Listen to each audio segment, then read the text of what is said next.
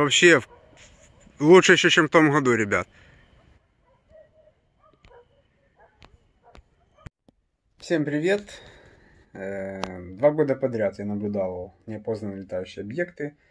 В октябре это было, но разница там буквально 5-10 дней.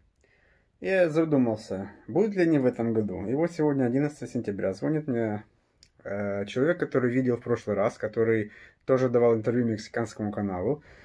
Говорит, ты видел? Я такой, что? Обратно огни. Я выхожу, но огни появлялись, и вот так вот параллельно друг другу, так, буквально секунда, раз, и тухли.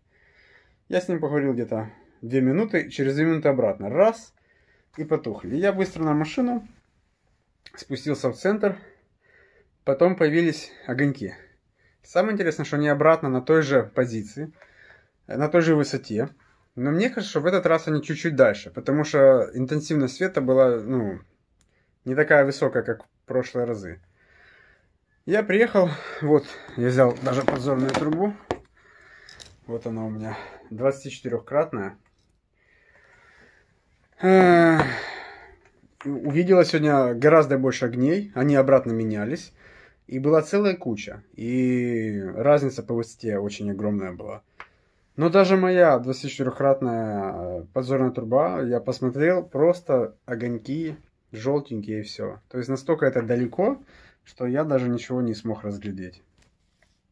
Так что мне писали с Беляевки, звонили, что...